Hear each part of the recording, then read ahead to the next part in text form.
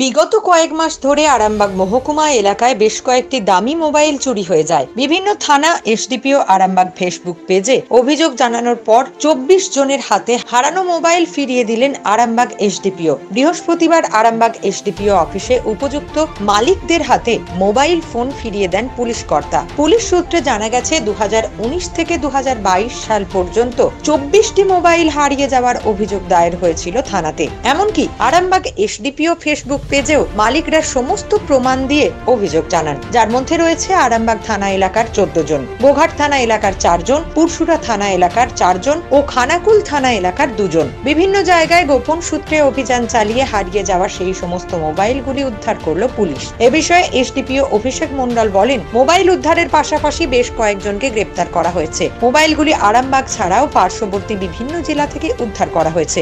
আজ twenty four twenty four number of stolen and missing mobile তার actual ওনারের হাতে তুলে দেওয়া হলো।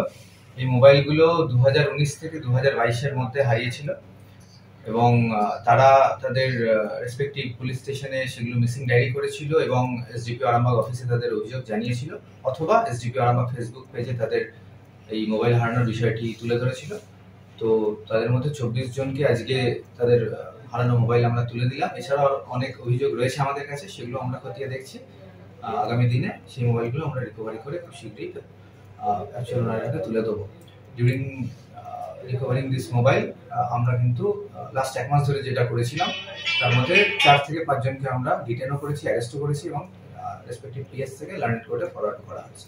কোন জায়গা থেকে মোবাইলগুলো মোবাইল আজকে আমরা যে মোবাইলগুলো রিকভারি করেছি কমপ্লেন চব্বিশ জনের যেটা ছিল চোদ্দ জন আরামবাগের বাসিন্দা চারজন গোঘাটের বাসিন্দা চারজন পুরসুরার বাসিন্দা এবং দুজন খানাকুলের বাসিন্দা।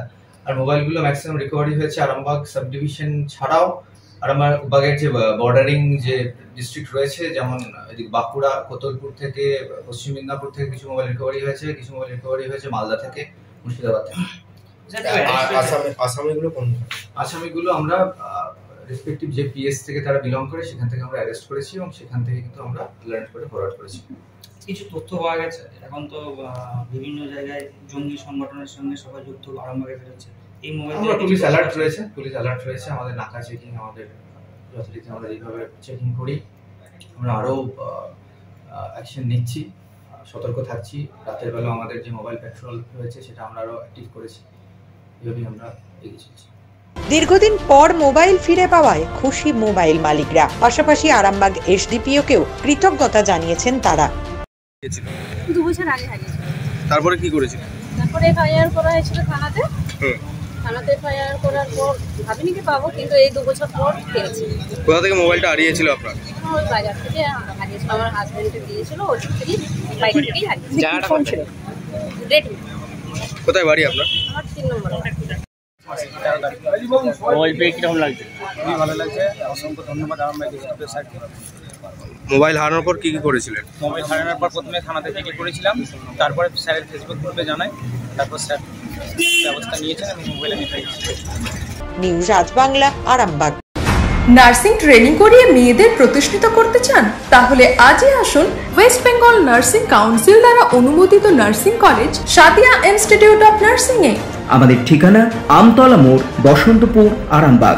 Phone number eight six seven zero six eight nine six one seven অথবা eight six one seven five nine double zero three five GNM এর পর এবার বিএসসি নার্সিং, সঠিক পরিকাঠামোয় নার্সিং ট্রেনিং এর একটাই নির্ভরযোগ্য ঠিকানা সাদিয়া ইনস্টিটিউট অফ নার্সিং।